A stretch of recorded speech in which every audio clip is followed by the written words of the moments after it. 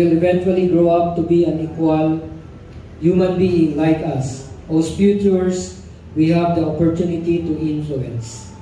Of all the gifts that we receive, the most precious is our children. Children can teach us a lot about ourselves. They mirror our faults and our follies, our character and our strengths. Children can drive us to desperation and yet inspire us with great joy. In so doing, they change our lives. To work with children requires great maturity on the part of the parents. We are doing more than nurturing the seeds for a forest. We are influencing the mind and heart of one person in the next generation. Baptism, dedication, blessing, whatever we call it, is a public commitment by parents that they will do their best to bring up their child in the best possible way they can. It is also a commitment to join and belong to a Christian community where the values of love and peace are lived and upheld.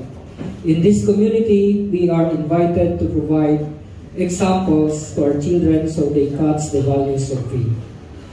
Sa mga sponsors or ninong Nina, meron din silang commitments para palakihin at gabayan ang mga inahanap bilang pangalawang magulang.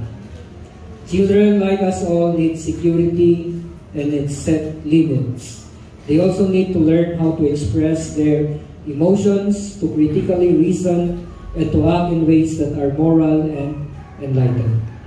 Children that need encouraging and forgiving, inspiring and disciplining. Dinidisiplina din po natin. As we acknowledge and appreciate spiritual values, so they learn the ways of God. By requiring this on us, they are making great demands. Tayo, as a community, are invited to support Aaron and Anna on this exciting and demanding journey of parenting. For dedication, do you confess your faith in God your Heavenly Father, in Jesus Christ as your Savior, and Lord, and in the Holy Spirit as your helper and guide? Do you promise with God's help to teach your child, children, the truths and duties of the Christian faith? Do you intend to share in the life and worship and seek by prayer, teaching and example to bring up Kai and Jurujin in the care and discipleship of the Lord? The Lord bless you and your children and give you the grace to faithfully perform these promises. May we call on the Nino and Ninang Sige, tayo lang po tayo. Bibigay tayo gifts. Kasama sa pagbibigay ng gifts na yan, we remind them of the of this day, of this dedication, of this uh, blessing, of this baptism. Then set them a good example and educate them into Christian faith and beliefs. So if you intend to do this, you can say, Yes, we do. Do you intend to do this? Yes, we do. Now, we will proceed to our next Irene, sige, harap ko dito, Kai. Sige, ay, magamat hindi ako naiintindihan ni Kai, ni Juro, but the Lord and we are all witnesses of this sacred event. To Kai Asha and Jorojin, for you, Jesus Christ came into the world. For you, He lived and showed God's love. For you, He suffered the darkness of Calvary and cried at the last, It is accomplished. For you, He triumphed over death and rose in newness of life. For you, He ascended to reign at God's right hand All this he did for you, Kai Aksha and Geology. Though you do not know this yet, and so the word of Scripture is fulfilled. We love because God loved us first. Let us take a moment to bless Kai Aksha and Georgine. Please let us close our eyes and I will pray. Blessing sa dalawang bata. Sige, lapit kayo. Harap kayo kay ano, harap kayo sa mga bata. Sige.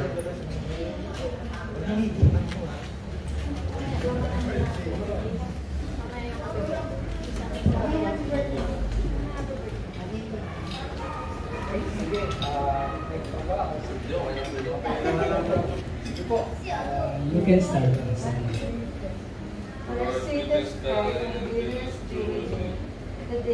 Promise to always be your family.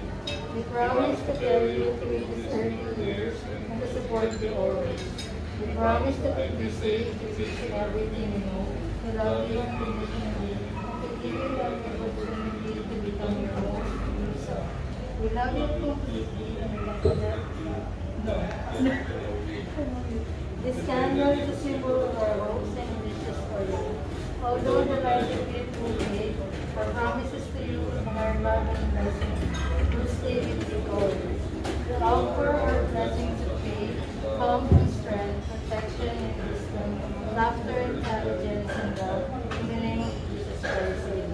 amen. Praise God. Palakpakan muna natin ang Lord. And thank you for these blessings. Then we will close in prayer. Uh, Lord, thank you for this momentous, sacred, joyous event as we dedicate and offer to you uh, Juro and Kai. Thank you for their parents. Thank you for their tita, titos, uh, lola or lolo, kamag-anak, at uh, sponsors, uh, Ninong at Ninang. Thank you for these blessings. May them remember this day, Lord. Let their parents remind them of this wonderful day. All of this we ask and pray and dedicate in the name of our Lord Jesus Christ. Amen. Sige. Palakpakan naman natin. Yes, then we can... Alright. Then uh, I guess uh, the birthday celebration or ceremony will start. God bless everyone. Ay, bongga. Picture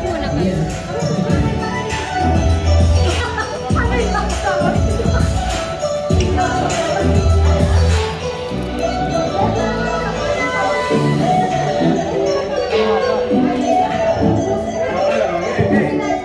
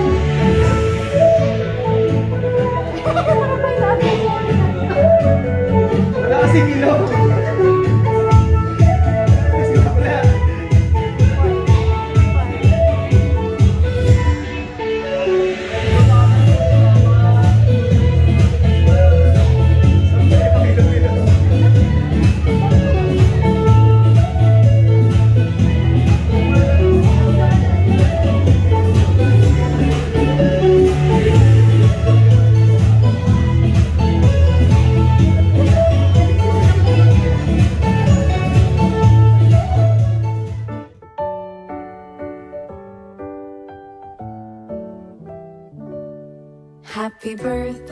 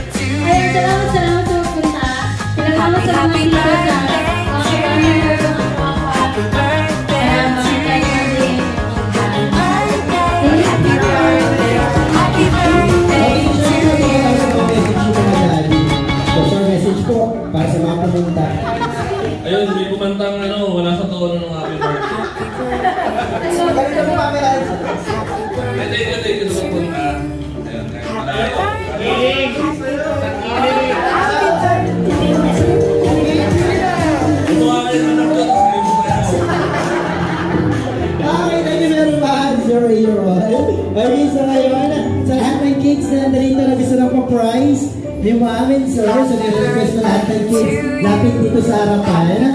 Okay, sa so, kami, kids, nakatawa ng mga tatantilan natin, kids, kami ba? Ready? One!